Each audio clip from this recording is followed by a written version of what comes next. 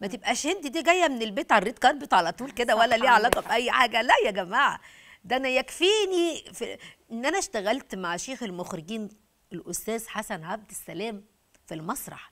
أستاذ حسن عبد السلام يعني ليه روايات رهيبة. كفاية بس آه، سيدتي الجميلة اللي كلنا بنعيش وبنحلم وبنتفرج وبنتعلم منها. فأنا اشتغلت معاه مثلا خمس روايات. لو هند مش شاطرة مش هيجيبها تاني مرة. ولا تالت مرة ولا رابع مرة. أستاذ وجيه الشناوي اللي عمل لي كلام رجالة. عملت معاه خمس أعمال. كلام رجالة ده كان مكسر الدنيا. عشان بس ما حد يقول لك أصل إحنا ما شفناهاش من ساعة كلام رجالة. إزاي؟ طب قلبي دليلي. آخر عمل ليا كان مسلسل قلبي دليلي. صح. كان أستاذ مجدي صابر طبعا ال- السيناريست والمؤلف والكاتب الكبير.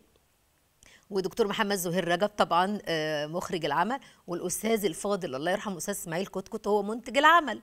آه، أنا كنت عاملة أم ليلى مراد. ما. كانتش الناس مصدقة إن هند عاكف بسنها الصغير ده. تعمل أم ليلى مراد وهي ليلى مراد صغننة وبعدين مراحل مراحل مراحل دور مركب يعني. وبتكبر بعد كده وبتموت وهي قبل ما توصل للخمسين سنة. كان طبعا آه، زكي مراد أبو ليلى مراد آه، الاستاذ عزت آه، أبو عوف. طبعا يعني مش قادرة أقول لك كان بيشجعني إزاي وكان طاير بيا في الشغل ويقول لي بعد كده مش هنعرف نجيبك من انهي استديو وهتدوخينا وكده بعلو صوته قدام الناس. فالحمد لله يا رب. طبعا لو هنتكلم برضو كان في بقى نجوم كبار في في في العمل يعني مش مش هند لوحدها ولكن أنا بكلمك على ال- الشخصية اللي أنا عملتها. فأنا سعيدة جدا بكل اللي أنا عملته. ولما قلت قبل كده أنا عندي تاريخ لا الحمد لله أنا عندي تاريخ فني ومشرف حتى لو هو قد كده بس هو مش قد كده. بس اللي, اللي عايز يبحث على هند عاكف ويعرف هند عاكف يدخل يكتب أعمال هند عاكف مسرح سينما تلفزيون فوازير. صح. فاهماني. بس أستاذ وحيد سيف يعني أنا برضو افتكرته لسبب لأن أنا لما عملنا الدبابير في في لبنان كانت مكسرة الدنيا وصورتها وموجودة على اليوتيوب. دلوقتي عندنا فقرة اسمها لا بيا ولا عليا. إمتى لقيتي إن لا بيكي ولا عليكي دخلتي في حوار واتدبستي فيه؟ ببقى متضايقة جدا وزعلانة جدا ومش بحب الظلم. أنا عمري ما ظلمت حد. فما بحبش حد يظلمني ولكن ربنا هينصرني على أي حوار دخلت فيه وأنا ماليش ذنب فيه لأن ربنا عالم بكل شيء. ممكن نعرف حاجة يعني ينفع تتقال؟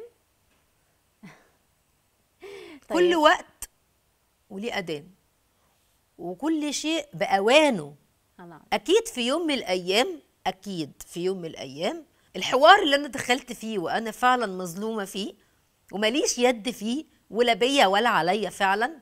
في يوم من الأيام كل حاجة هتبان. و... وزي في عندنا نجم كبير يقول لك الحقيقة لازم كل شيء انكشف وبان كل شيء هينكشف ويبان. أكيد.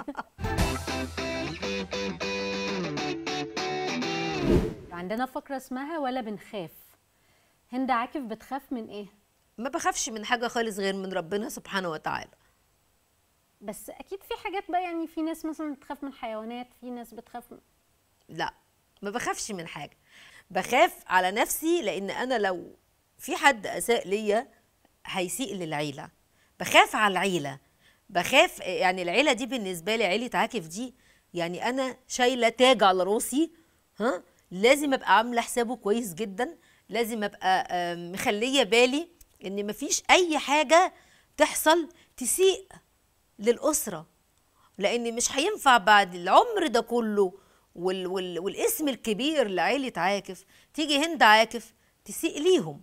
فبخاف لما أجي مثلا يجي تعرض عليا دور بذاكره كويس لما في دور مثلا من الادوار اللي ما بحسش إنها هينفع تتعمل فبقول لأ مش هعملها لأن أنا بحمل آه، يعني رسالة أو بحمل مسؤولية الأسرة ما عنديش استعداد حد يقول لي ليه يا هند؟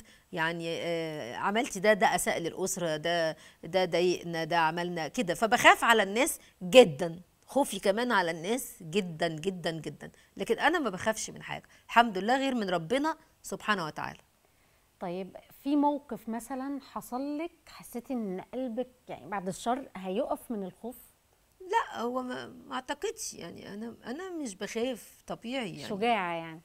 أنا الحمد لله يعني والدي الله يرحمه وبابا عبده عبد المنعم عاكف آه، علمني إن أنا ما أخافش آه، كان وأنا صغيرة يعني دايما يعني ما كان أنا ما كنتش بخاف من حاجة ولما كبرت الحمد لله ما بقيتش أخاف من أي حاجة وده خلاني كمان أتحمل مسؤولية وأبقى صبورة وضبط النفس وأعتقد واضح جدا ضبط النفس في ال- في اللي إحنا بنشوفه دلوقتي.